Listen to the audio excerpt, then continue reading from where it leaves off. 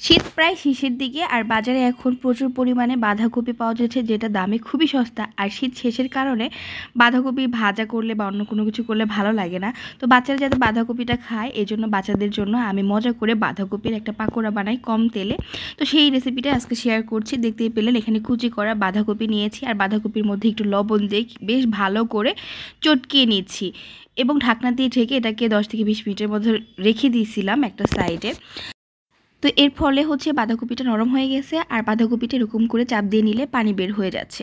আর এই পানিটা বাঁধাকপির একটা স্মেল থাকে সেটা যখন চেপে বের করে দেওয়া হয়, ওই স্মেলটা চলে যায় আর এই পাকোড়াটা খেতেও মজা লাগে, মুচমুচে হয়। এই জন্য এভাবে করে পানিটা বের করে ফেললাম। এরপর এখানে আমি দিয়ে দিলাম কাঁচামরিচ কুচি, পেঁয়াজ কুচি যে যেরকম ঝাল খেতে পছন্দ করেন, সেরকম কাঁচামরিচ দিয়ে নেবেন, একটু বেশি করে পেঁয়াজ কুচি দিবেন। এরপর হচ্ছে এই যে আমি মরিচের গুঁড়া দিলাম, হাফ চা চামচের মতো হলুদের গুঁড়া দিলাম হাফ চা চামচ। এরপর এখানে দিয়ে দিলাম ধনে পাতা একটু বেশি করে ধনে পাতাটা দিয়ে দিয়েছি। এখন ধনে পাতাও কিন্তু বাজারে বেশ সস্তা। এরপর দিয়ে দিলাম চালের গুঁড়া, হাফ কাপের একটু বেশি। আপনারা চাইলে এখানে যদি চালের গুঁড়া না থাকে, তাহলে ময়দা ব্যবহার করতে পারেন। কারও বাসায় বেসন থাকলে সেটাও ব্যবহার করতে পারেন। এরপর সবগুলো উপকরণ হাত দিয়ে খুব ভালোভাবে মেখে নিতে হবে। তবে আমি একটা জিনিস মানে আমার ভিডিওতে উঠে নাই, সেখানে হচ্ছে আমি এখানে ময়দা দিয়ে মানে চালের গুঁড়োতে মাখার সময় অনেক শক্ত ছিল ইয়াটা, বেটাটা। এরপর এখানে আমি একটা ডিম দিয়ে ভালো করে মেখে নিয়েছি।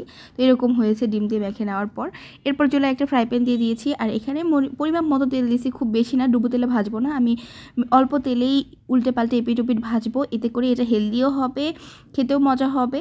কারণ খুব বেশি তেল খাওয়া আমাদের স্বাস্থ্যের জন্য ভালো না। আর বাচ্চারাও এটা খেতে বেশ পছন্দ করে। বিকেলের নাস্তায় কিন্তু ঝটপট বাচ্চাদের এটা আপনারা বানিয়ে দিতেই পারেন কম তেলে। তো সুন্দর করে এরকম করে শেপ করে করে দিয়ে আমি এখানে মিডিয়াম আছে।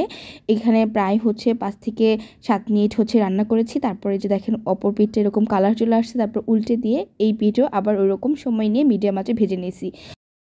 দুই পিঠি হচ্ছে সুন্দর করে এরকম কালার করে ভেজে নিয়েছি। এতে করে যেটা হবে, এই যে দুই পিঠের অংশটা উপর মানে দুই পিঠি হচ্ছে সুন্দর মুচমুচে হবে, ভিতরের যে ইটা ওইটাও খুব সুন্দরভাবে সেদ্ধ হয়ে যাবে। মানে বাহিরে ক্রিস্পি ভিতরে একটু নরম, কিন্তু খেতে ভীষণ ভালো লাগে।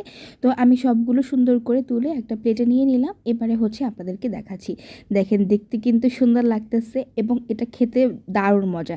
বাঁধাকপির এই পাকোয়াটা আপনারা কে কে বাসায় করে খেতে চান বা ইতিমধ্যে অনেকেই হয়তো এটা করেও খেয়ে ফেলেছেন, তাদের কাছে কেমন লেগেছে এটা আমাকে অবশ্যই কমেন্ট করে জানাবেন।